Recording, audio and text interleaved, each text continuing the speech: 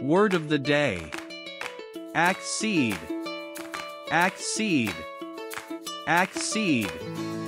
The word accede means to agree, or to consent, or to become a party to something. The key to remembering is that accede was borrowed here, which means to side with or yield to. Note, cede and concede also means yield to. Example 1. The government acceded to their demands after protest.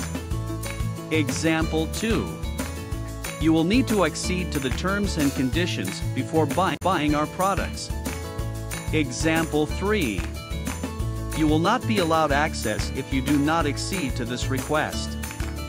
One more time, the word accede means to agree, or to consent, or to become a party to something.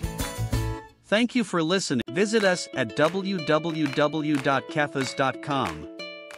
Please like our page, subscribe or leave some comments with your own example of how to use the word of the day.